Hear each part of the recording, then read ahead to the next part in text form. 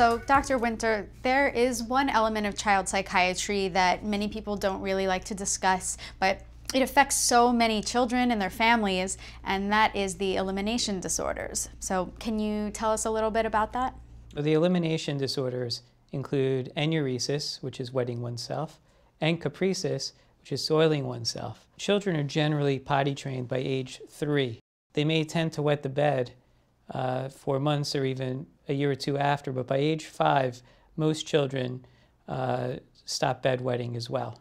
So, what is enuresis, technically speaking? To meet criteria for a diagnosis of enuresis, uh, the child has to be at least five years of age, has to wet the bed, uh, wet, wet themselves two times a week for three consecutive months. And what is encopresis? Encopresis uh, is diagnosable if a child simply soils themselves once in three months, who's at least four and above. Interestingly, parents may not necessarily bring a child who has that problem in uh, to get help either, because it is a bit embarrassing. Well, that's understandable. Sure. So, what kinds of other problems can these disorders lead to? Children will often develop anxiety, low self esteem. I mean, these are common problems. And sometimes those two things can actually exacerbate the elimination disorder. So, when treating a child with elimination disorders, uh, where do you start? The first thing, like in medicine in general, is we start with a thorough history. We need to know how old the child is. Does it happen, for example, during the day or at night?